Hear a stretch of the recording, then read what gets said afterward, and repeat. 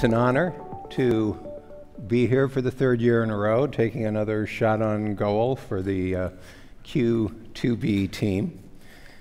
In the first uh, Q2B talk that I gave two years ago, I suggested that we use the word NISQ, noisy intermediate scale quantum, to describe the near term quantum platforms that are being developed. And I wrote up that talk, and my views haven't changed a whole lot since then. But there are some recent developments which are worthwhile to acknowledge. You might have heard about this paper, which was published seven weeks ago now. Now, the idea of quantum supremacy is that we have good reason to think that it's not possible, in all cases, for quantum systems to efficiently simulate what, for classical systems to efficiently simulate what quantum systems do. Arguably, that's about the most interesting thing that's ever been said about the difference between quantum and classical, and so there's a strong incentive to try to verify in the laboratory that that's really true. The announcement of quantum supremacy stirred a lot of interest, not surprisingly. Far be it from me to make fun of anyone who has a lot more Twitter followers than I do. But I think it's safe to say that some of their reactions were more credible than others. if you read the Google paper, and I hope you will, because it's very well written and quite accessible, you'll learn that they built a device called Sycamore with transmon superconducting qubits laid out in a two dimensional array, and with other transmons serving as the couplers connecting together nearest neighbors in that array. Those inductors, are, those couplers, which are capacitively coupled, can be turned off very firmly, which is important for reducing crosstalk, and also turned off and on very rapidly, and that was an important technical advance. The Sycamore device had 53 working qubits in that two dimensional array, and they were able to demonstrate that they could perform two qubit entangling gates with an error rate per gate of 0.6%, even when all the qubits were operating in parallel and performed those gates in 12 nanoseconds. And for the largest circuit that they executed, which had 432 qubit gates, they achieved a circuit fidelity of about 0.2%. So what one can do is with fixed two qubit gates in a circuit, randomize the single qubit gates, and then choose such a circuit and execute it millions of times each time measuring all the qubits to generate a 53 bit string. And those bit strings are sampling from a probability distribution which is not uniformly random on all 53 bit strings. And one can then, with the classical computation, with the circuit slightly modified to make that classical computation easier, verify heavy output generation, that is, that the more likely strings really are being generated by the device with higher probability to validate that circuit fidelity. And because this random circuit has no special structure that's easy to exploit, and because the Hilbert space dimension is exponentially large in the number of qubits, it's very hard for a classical computer to simulate what the quantum computer is doing. And while the Sycamore device can generate uh, millions of samples from that distribution in just minutes, for a classical supercomputer to perform a comparable task would take at least days and perhaps longer. So that experimentally verifies that the hardware is working the way we expect, producing meaningful results in a regime where it seems classical simulation is very difficult.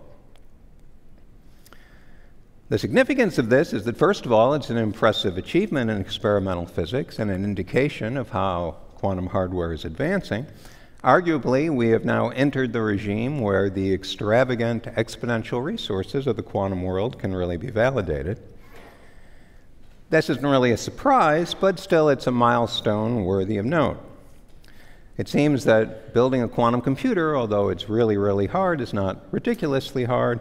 Now that the hardware is working, we can start seriously seeking real applications. And you can see other takes on the achievement of quantum supremacy in some of these publications I've listed here. So, what happens next? Well, what we'd all very much like to see are real applications that have a practical impact on the world, and it's important to discover such applications because that will stimulate further interest and investment, which will be necessary for the technology to continue to advance.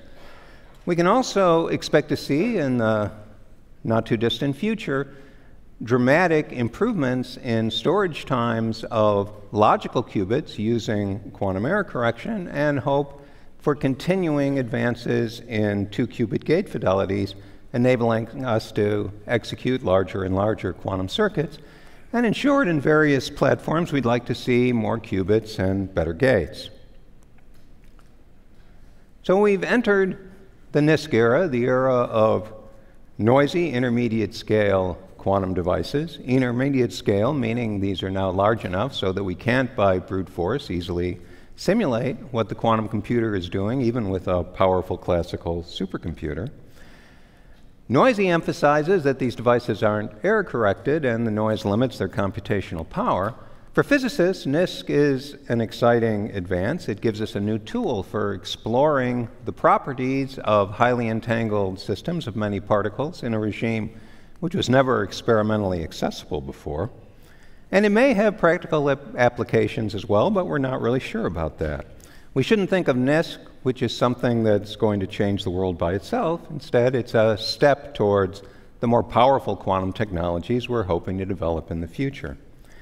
I think we can be confident that quantum technology will have a transformative impact on the world eventually, but we're not sure how long that's going to take. So, how should we find these applications? Well, one approach is to follow Scott's advice. When he said, instead of thinking of a hard problem and asking how to speed it up, we could ask, what are quantum computers good at, and build our application from that. And his specific suggestion was certified random number generation. So, if we access what are putatively random numbers on the cloud, how can we be sure that they're really random?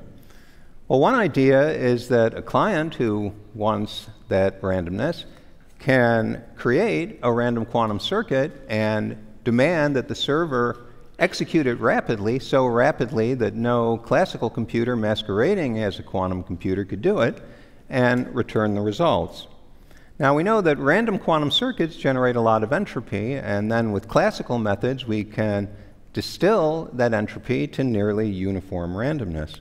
And the key is that if the results are returned so quickly, it couldn't have been done by a classical computer, and then at his leisure, the client can verify the heavy output generation to see that the quantum circuit really was executed.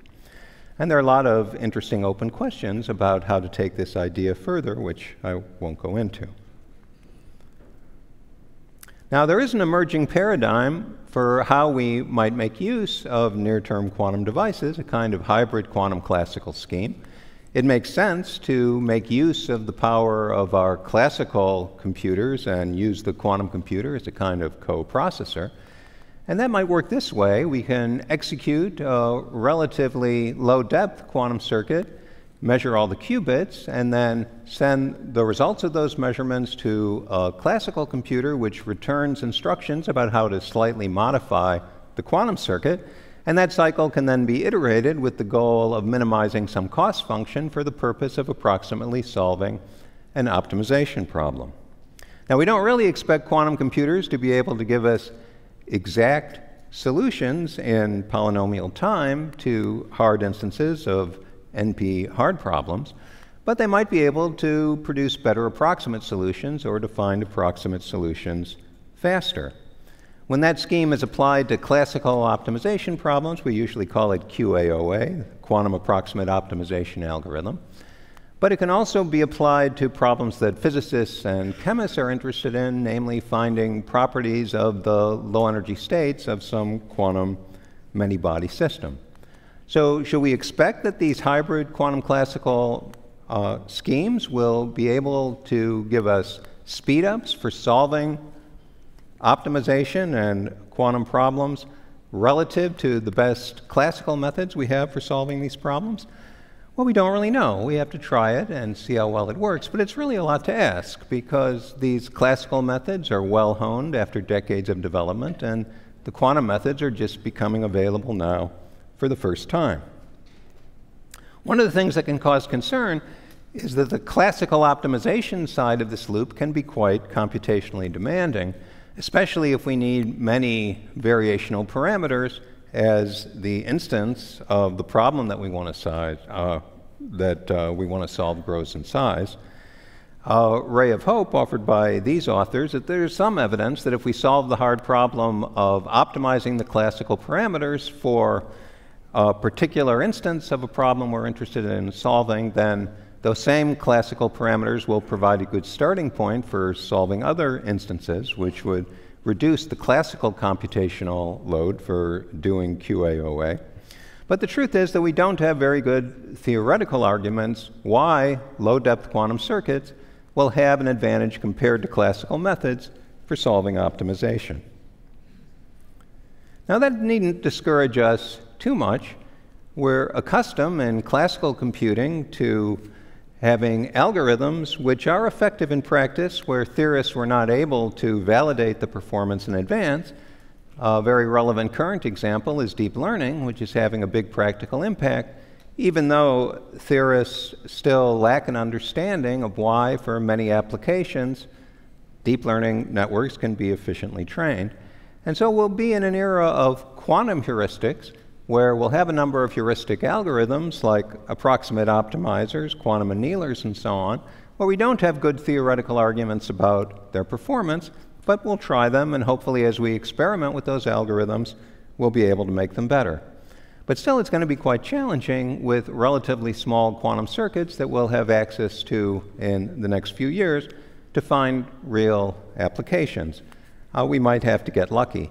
But what can facilitate progress are meetings like this one, where the application users communicate with the quantum computing experts. Naturally, there's a lot of interest in the potential of quantum machine learning. It might be the case that a quantum deep learning network would have an advantage over classical deep learning for some applications, but we don't really know that's true. We're just going to have to try it and see how well it works. Part of the reason for the interest in quantum machine learning is the idea we call QRAM, quantum random access memory. That means we can take a lot of classical data, a very long classical vector, and encode it very succinctly in just log n qubits, a potential advantage. But many of the proposed quantum machine learning applications are hampered by input output bottlenecks that is, it can take a lot of time to load classical data into QRAM, which can nullify the potential quantum advantage. And what we get as an output is a quantum state succinctly encoded, and we can only get a modest amount of information per shot when we measure that state. So, in order to characterize the output in more detail, we would have to run the routine many times in succession. It might be more natural to think of quantum machine learning as a task where the input and the output are quantum, applying it to something like recognizing exotic quantum phases of matter or finding better ways to control quantum systems. It makes sense that if there's going to be a quantum advantage for learning some probability distribution, that advantage will occur when quantum entanglement somehow underlies the probability distribution in question. Now, when I spoke at Q2B two years ago, I was excited about a recently discovered algorithm by Kerenidis and Prakash, a quantum algorithm for the problem of recommendation systems. That's the problem which is solved, for example, by Netflix and Amazon, where a customer reveals a few of the products that she likes, and then a recommendation is made for other products that she's uh, likely to uh, prefer. Uh, the reason this works is that there's a big preference matrix that describes the users and the products, and that has a relatively low rank because there aren't that many different kinds of users. Now, what Kerenidis and Prakash pointed out is that once we've set up the right kind of data structure, there's a quantum algorithm for making a high value recommendation which has a runtime which is just polylog in the size of the preference matrix. That seemed like a notable speed up for a quantum application that could have a real impact. But just a few months after I gave the talk, a uh, amazing student then at the University of Texas working with a quantum computing superhero, uh, Ewin Tang, uh, made a remarkable discovery. She found that there are quantum inspired classical algorithms that can achieve a similar result for the recommendation systems problem. It's intrinsic to the recommendation system problem that the matrix in question is low rank, and that can be exploited in classical sampling algorithms, uh, Ewin pointed out, to make a high value recommendation, again, in a time which is just polylog in the size of the matrix. And that gave rise to a flood of other dequantization results for proposed applications of quantum algorithms to various tasks, some of which I listed here. Now, these quantum inspired classical sampling algorithms are a notable theoretical advance in classical algorithms. It's kind of remarkable that we can succeed in, with a complexity, which is just polylog in the size of a very large matrix, in the regime where it has a low rank. The practical impact of these discoveries is still unclear. These classical methods don't scale very well with the rank of the matrix or with the error that we're trying to achieve. There's still an advantage, so far as we know, for doing linear algebra with quantum computers, not in the low rank regime, but in the regime of high rank matrices, which are sparse. And exactly what the practical implications of that really haven't been worked out satisfactorily for real end to end application. So that's an important thing to address. Now, we're not going to be able to do linear algebra, solving matrix inversion, for example, with quantum computers, most likely, using NISQ devices. Those algorithms are just too demanding. For solving those and other hard problems, we're probably going to need scalable quantum computers using quantum error correction to achieve fault tolerance against the noise that afflicts quantum devices.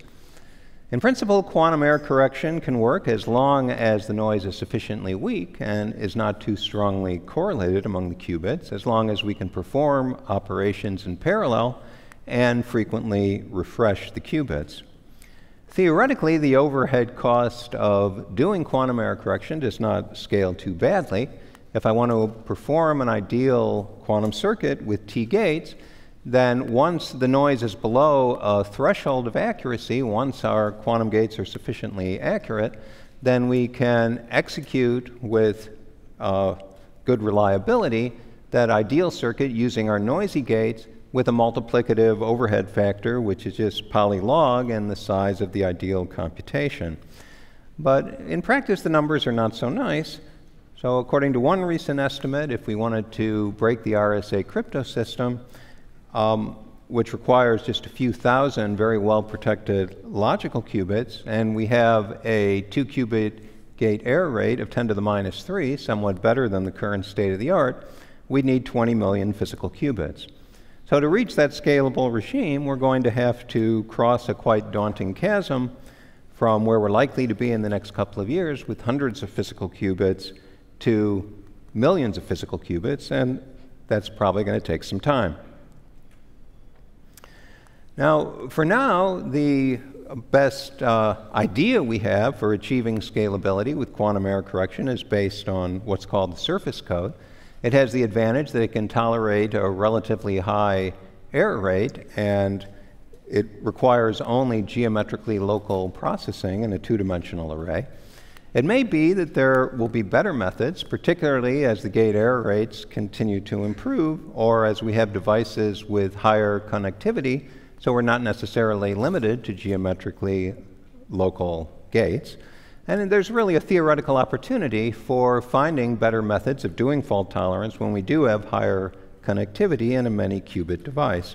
We'll have the opportunity in the relatively near term to learn better how to customize fault tolerance to the properties of the noise in a particular platform and for the particular algorithms that we want to run.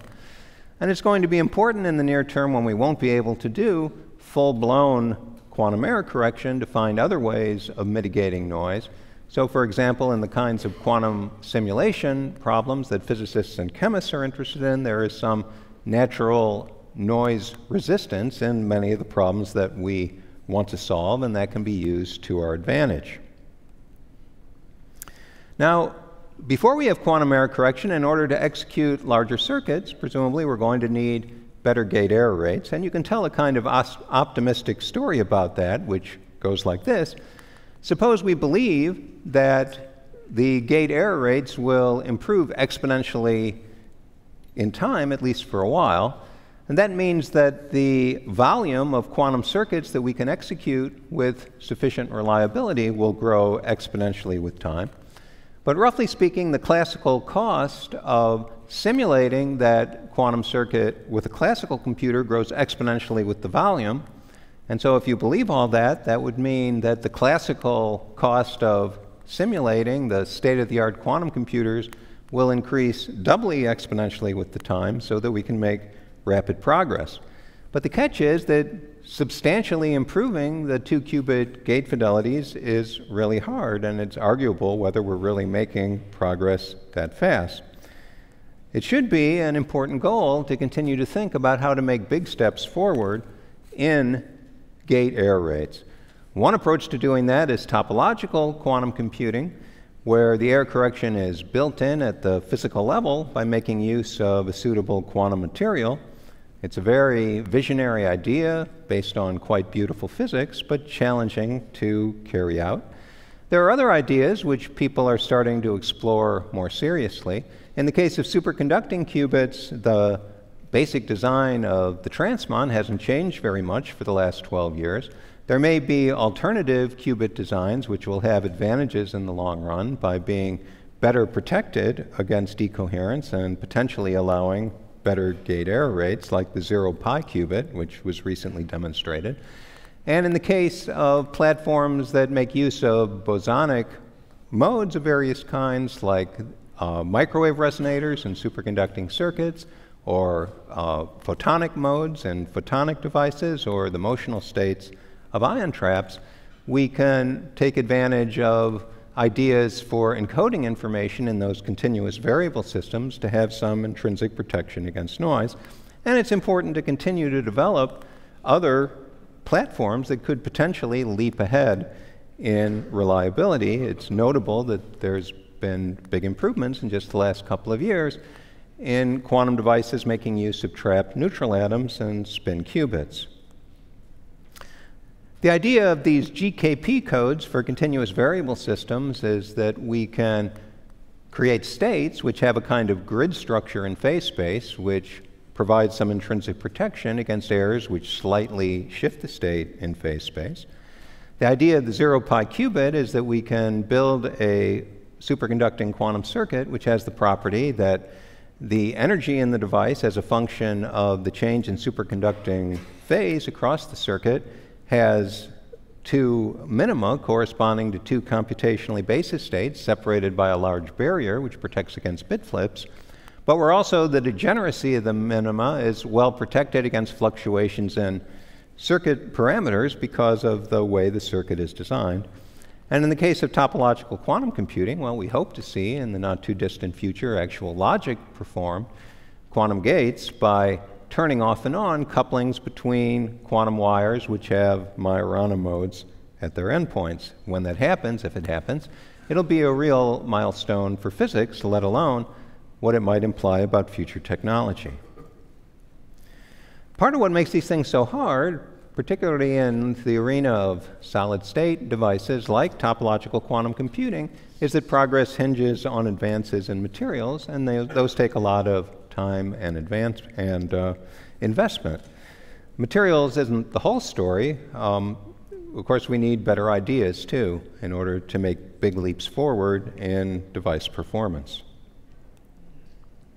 Now, as a physicist, you know, what I find exciting is that we now have a tool for exploring physics, which we never had access to before, for decades, as we've wanted to understand the structure of matter at shorter and shorter distances, we built more powerful particle accelerators. Or if we wanted to understand the universe close to the Big Bang, we've built more powerful instruments and telescopes. And now, as we want to understand more deeply the properties of very highly entangled states of matter, we are going to build more powerful quantum computers and quantum simulators. So, what's exciting to a physicist is that we expect that with a quantum computer we can simulate efficiently any process that occurs in nature. That's not true of classical computers, which we think are not capable of simulating very highly entangled systems. And that means we'd be able to probe more deeply into the properties of exotic molecules and materials, or complex molecules and exotic materials, and also explore fundamental physics in new ways. For example, simulating the quantum behavior of a black hole or the universe right after the Big Bang.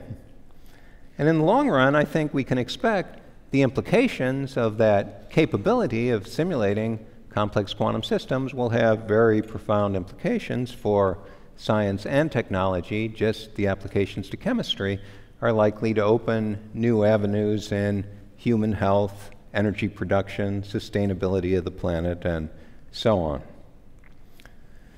In the near term, we have opportunities to learn more about how quantum systems evolve in time. Simulating the dynamics of highly entangled systems is very hard to do with classical computers. We'll be able to do that with quantum computers and simulators. We expect them to have a big advantage in that arena, and physicists are hoping we can learn a lot about quantum dynamics using NISQ devices. 50 years ago, we gained a lot of insight into the properties of chaos in nonlinear classical systems, that is, sensitivity to initial conditions, that progress was achieved by simulating those systems using digital computers. And now we understand comparatively little about the properties of quantum chaos because we haven't been able to simulate it until now. But now we can make progress on that using quantum simulation. That can be done either with circuit based, universal quantum computers, digital quantum computers, or with analog devices with interactions uh, among the qubits, which we can tune. Both of those approaches are important to pursue. They have complementary pros and cons. But in both cases of analog and digital quantum simulation, we should really have the goal of laying foundations for the more revealing simulations that we expect to be able to do in the future with fault tolerant devices. And that applies, I think, to NISQ applications more broadly. I've been interested in quantum gravity my whole career, and it's often said, with some justice, that quantum gravity is a subject which is inaccessible to experiment, and that's based on the observation that if I want to probe the quantum structure of space time, I need to probe exceedingly short distances, and for that I need correspondingly high energies. But what we've been learning is that the quantum geometry of space can be viewed as a kind of emergent property of highly entangled systems, which we can hope to explore even with relatively near term quantum platforms. And the flip side of that is that we hope and expect that intuition about gravity and how it behaves can help us to understand better the mysterious properties of very complex, highly entangled systems of many particles. But in this, as in all the things we're trying to do, we need to always bear in mind, as has been said, that quantum computing is a marathon, not a sprint. There are very tempting goals to reach for, but we have to be realistic about time scales. So let me sum up my main points. Demonstrations of quantum supremacy seem to be confirming the extravagant computational resources provided by the quantum world. We are entering the NISQ era, and we will be able to explore heuristic quantum algorithms. It may be that we'll find useful applications, but we can't guarantee it. It's important to continue to strive for lower quantum gate error rates because that will enable us to execute larger circuits and potentially find applications that would otherwise be out of reach. And those improvements will also eventually lower the overhead cost of doing quantum error correction.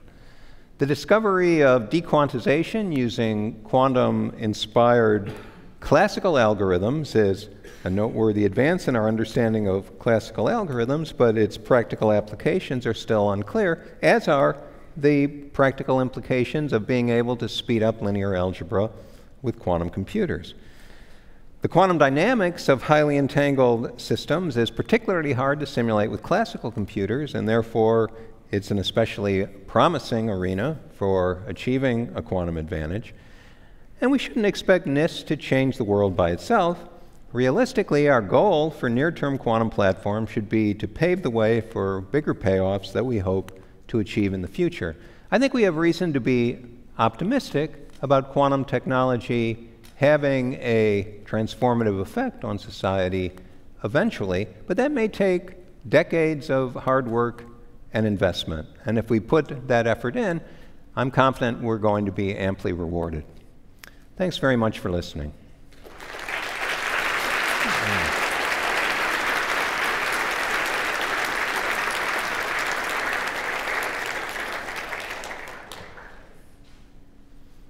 I guess we're taking a few questions.